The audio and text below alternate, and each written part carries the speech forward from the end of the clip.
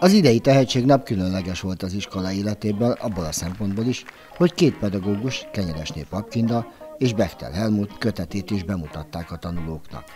Heimann Józsefné igazgató az ünnepség megnyitójában azt mondta, ez a fajta tudományos munka egyfajta példa a diákság előtt, és minden bizonyal pozitív irányba tereli az adott tanárral alkotott képet. A kiemelt oktatás területén nagyon fontos, hiszen a gyerekektől, diákoktól egyre nagyobb elvárás, hogy ők maguk is kutatómunkát végezzenek. Ezt tesszük egyrészt a természettudományok területén, a kutatóiskola programunkban, vagy az út a tudományhoz program keretében, és nagyon fontos, hogy a humán területen és a kollégák kutatómunkát végezzenek, hiszen egyre több helyen követelmény a rangos versenyeken, gondolok itt az országos középiskolai tanulmányi versenyre, magyar irodalomból, magyar nyelvből, történelemből egy projektmunkának a benyújtása, amihez elkerülhetetlen, hogy a diák is kutatómunkát végezzen. A tanár így pedig egy példa a diák számára,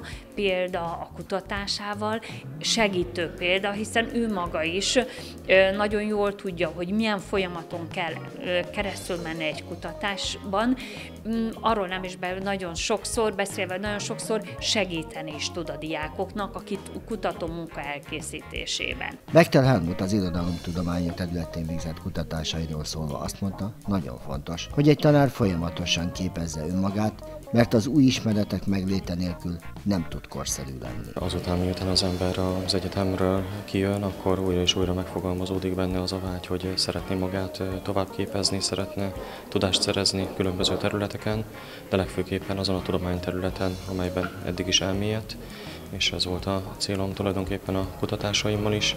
Nagyon fontosnak tartom természetesen a személyes fejlődésünk szempontjából is azt, hogy legyen lehetőségünk arra, hogy újra és újra megismerjünk különböző olyan területeket saját tudományterületünkön, az én esetemben az irodalomtudomány területén, amelyek segítenek abban, hogy fejlődjünk, hogy új ismereteket szerezzünk, gazdagodjunk, és ezáltal tudjuk gazdagítani azokat a diákokat is, akikkel a hétköznapjainkban találkozunk, hiszen a legfontosabb cél az, hogy legyen újra és újra olyan ismeretünk, amivel mi is megújulunk, és ezt az ismeretünket, hogyha tovább tudjuk adni, tudjuk színesíteni az óráinkat, tudjuk továbbadni ezeket a gondolatainkat, amelyeket mi is megismerhettünk, akkor ezáltal lehetőségünk van arra, hogy gazdagítsuk diákjainkat, és segítsük az ő fejlődésüket ezen a területen. Nem csak a pap tanulholtik, hanem a tanár is, és általában amennyire én ismerem a kollégáimat, és az előző kollégáimat, és a tanár kollégáimat is, a tanárok általában mind nagyon jó diákok voltak, kivéve, hogyha nem, de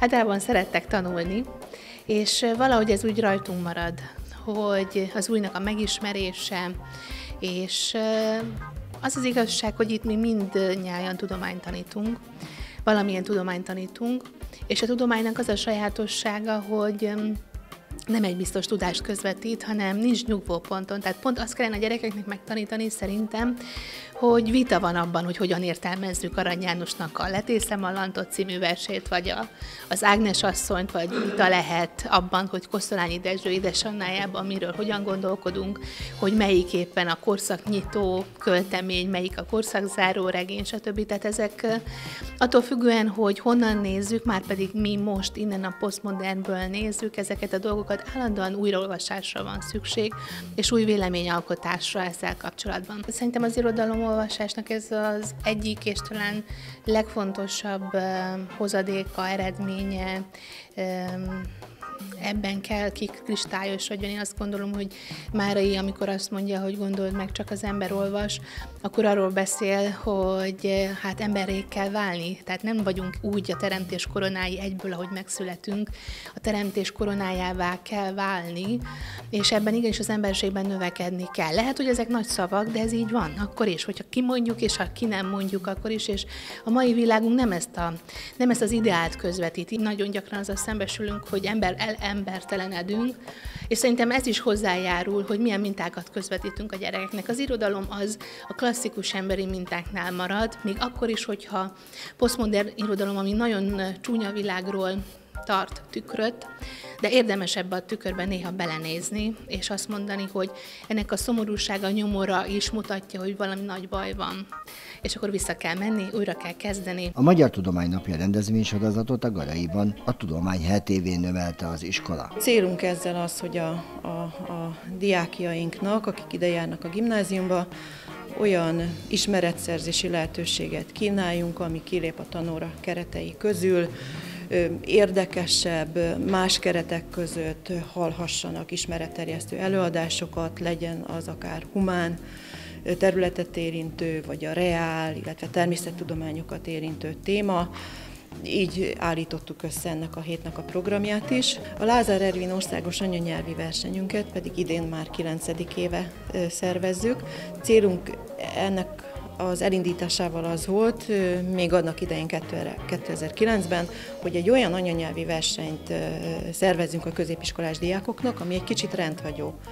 Játékosabb keretek között írjuk ki ezt a versenyt minden, minden évben, ami azt jelenti, hogy itt elsősorban a, a diákoknak a, az ötletességére, nyelvi kreativitására épülnek ezek a feladatok, így történt ez idén is. Ugye itt egy kétfordulós, három főből álló csapatversenyről van szó, és kiváló munkákat kaptunk az első fordulóban idén is, úgy, ahogy az korábban is megszokhattuk már a jelentkező csapatoktól. És idén annyiban más a korábbi évekhez az idei versenyünk, hogy mivel Baka István szexuális születésű költőnknek idén ünnepeljük a 70. születési évfordulóját, ezért ebből az alkalomból ennek a versenynek a feladatait is az ő költészetének a témakörei köré építettük. Célunk az volt, hogy a középiskolás diákok egy kicsit közelebb kerüljenek az ő költészetéhez, jobban megismerjék azt. Nyilván anyanyelvi jellegű feladatokból ágyaztuk ezt a, ezt a témát. A versenyről a Garai magazin következő számában számolunk be.